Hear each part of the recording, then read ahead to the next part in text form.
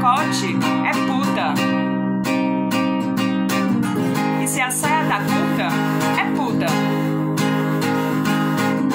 E se dá no primeiro encontro, é puta.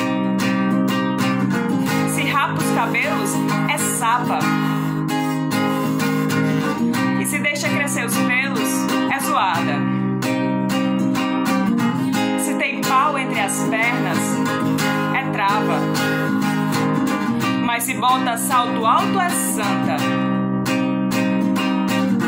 E se usa 44, é gorda. Mas se usa 38, é muito magra.